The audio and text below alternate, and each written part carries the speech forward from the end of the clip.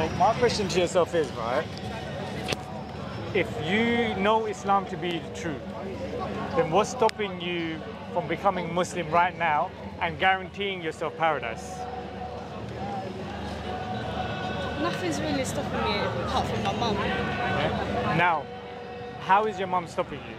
Because how can your mum restrict the belief you have in your heart? How does she have control over that? She, she's just discouraging me. She's saying no, it's fake, and she's saying no, it's fake. Fake based on what? Why is it fake? She's saying that oh, God doesn't exist in that. I'm like Based on what? Because the fact of the matter is, I would argue Islam is a logical, rational religion. Does that make sense? So the Quran actually advises us to takabbul, to, to reflect, to ponder. So,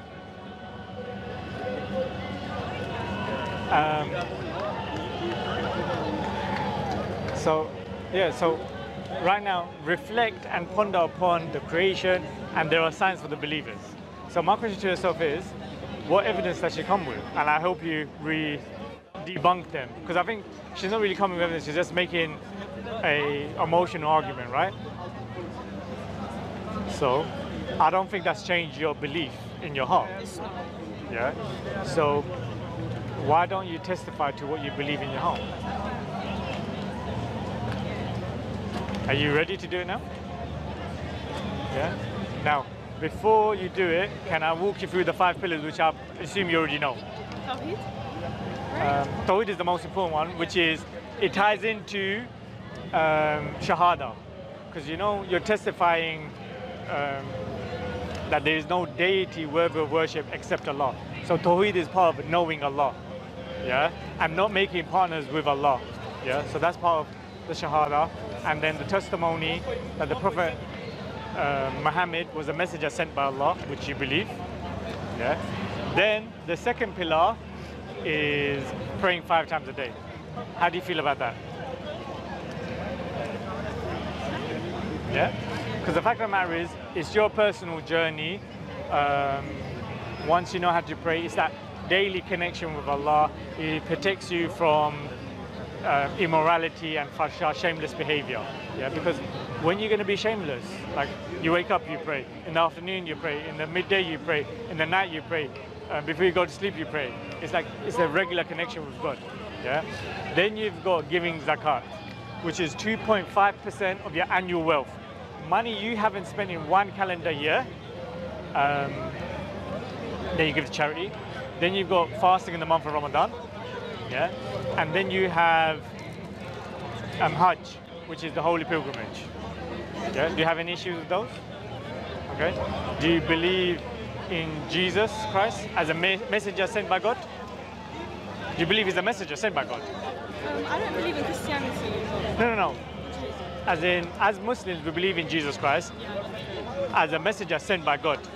Um, as somebody who submitted his will, will to God, who was a who was a Muslim, he he submitted his will to God. Does that make sense? The same way Moses was a Muslim, he submitted his will to God. But you don't make, you don't believe Jesus Christ is God, right? Brilliant. So right now, to be a Muslim, there's six articles of faith. Yeah. Very briefly, very quickly. Um, the first is the belief in Allah. Um, in no particular order. The second is in regards to belief in the angels. Do you believe in angels? Yeah. Belief in all the messages of God. So Adam, Noah, David, Suleiman, Abraham, Moses, Jesus, the Prophet Muhammad, peace be upon all of them. Message of God, do you believe that? Yeah. Then the books that was revealed to them, um, and the last book, which is the Quran, which you believe in, right? Okay. And then you have um, that decree, good and bad, is all from Allah. Yeah, divine decree, qadr. Yeah, and the belief in judgment day, that Allah is gonna call us to account to uh, for our deeds, basically. Yeah. So now, sister, are you willing to testify in with your tongue what you believe in your heart? Yeah. So I'm gonna say in English, and then we're say in Arabic. Yeah. So repeat after me in English. Um, I bear witness that there is no deity worthy of worship except Allah. And I bear witness that the Prophet Muhammad is the Prophet and Messenger sent by Allah. Sent by Allah. Yeah? So now I'm going to say in Arabic, Ashadu Allah ilaha illallah washadu anna Muhammadan abduhu wa rasuluh. That statement with the belief in your heart has, alhamdulillah, wiped away all of your sins. You've just become a Muslim. How does it feel? Yeah? May Allah bless you. Alhamdulillah. So now, um, like I said, all your past sins are wiped. Now you can start the journey in regards to speaking to, like gaining knowledge. Yeah? The more knowledge you have, then you can actually customize that to kind of rebuttal and um, have dialogue and discourse with family members, introduce them to it. But before you do that, be firm in regards to what you believe. There's no point you jumping into water trying to swim and save someone when you don't know how to swim. So make yourself a strong swimmer, gain strong knowledge, and like you said, Tawheed. First and foremost, Tawheed. Um, knowing Allah is unique in His names and attributes, um, knowing Allah is unique in His lordship, knowing that Allah is one and alone, worthy of worship. Does it make sense? So these elements, look deep into it, reading the Quran, keeping that daily connection with the Quran, um, keeping good company, um, reading your Salah. Uh, do you have any questions for me, sister? No. Um, I just I have one question actually. Here you go, Bismillah. Um, this isn't going to be posted online, is it? Um, what we're going to do, we're going to put it on YouTube and we're going to blur you out. All right. Yeah. If you want, I can get them to change your voice. You want me to change your voice? No, it's fine. Just blur that is enough. Yeah. Uh, that's fine. Um, was that your question? That's very anticlimactic. I'm like one question. Yeah, we're going to blur you out. Um, I'll give you like we've got um, Dawah to the Soul. We've got Sam Dawa. We've got Unite Upon the Haq. We've got SF Dawa and Dawa Dan, and we've got well, we've got Continuous Message Foundation here as well. So all of this is going to be posted there, but it's very motivational. Um, what was it exactly that um, motivated you or made you look into Islam and make you know that look, I want to take the Shahada? Um, I've actually like I've studied Christianity a bit, like growing up, because I went to like Catholic schools and that. Okay, I never found myself to believe anything like not the slightest bit. It didn't. It just didn't make sense to me. Yeah. But um, now I go to a school where almost like every student is Muslim, and I've seen how like they practice Islam, and like I was just like, I this is the only religion like I believe in. You know. SubhanAllah, yeah. Alhamdulillah. Um, what I'm going to do, sister, I'm going to give you a number for another sister, um, Reva as well. Um, if you message her, um, then she can put you in touch with other sisters, circles, and um, like new Muslim circles and so on and so forth.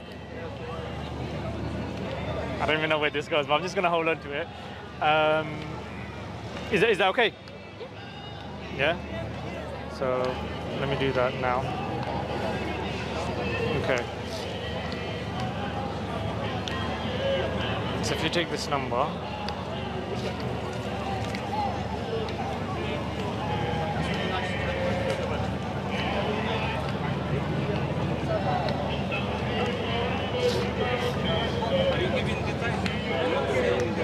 no, no, no. Uh, I'm just giving uh, contact details for River.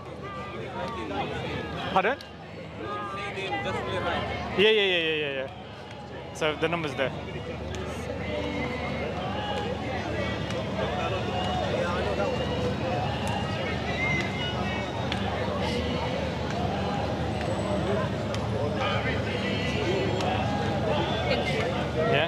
Um, drop her a text message now, WhatsApp message, and then she'll put you in touch with our reverts.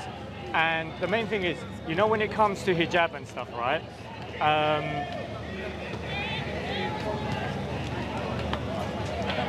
yeah, I don't know what's going on here. What's up, bro? Yeah, yeah, it's fine, it's fine. Yeah, yeah, yeah, yeah that's fine. Um, I forgot what I was gonna say. Um, yeah, in regards to the first contention you had, right, when your mom was telling you about hijab, like, at the end the day, that's your personal journey where depending on how modestly you want to dress, um, what dress code you want to adopt, and how to do it, um, that that's not what makes a Muslim. That's not what makes a Muslim. Does that make sense? Um, it's more rewarding. It's more you submitting to God's will.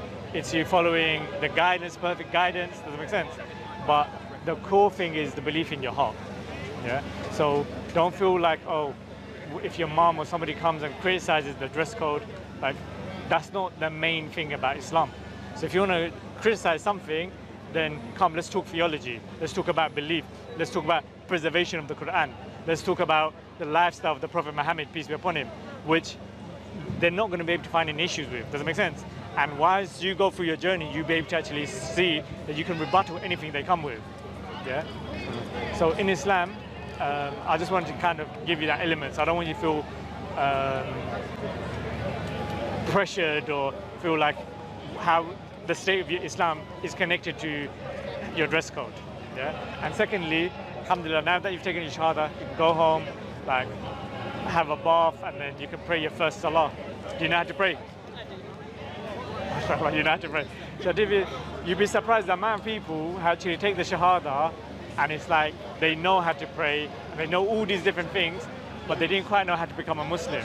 I mean, I think with yourself, alhamdulillah, you've done your research, and now you can go home, um, alhamdulillah, enjoy Islam, and you're guaranteed paradise. Any last questions before I let you go? Yeah? May Allah bless your sister. And yeah, Assalamu alaikum. You've got Quran, right? At home. Yeah? No problem. Be careful with your phone. And yeah, Assalamu alaikum. Alhamdulillah. Subhanallah.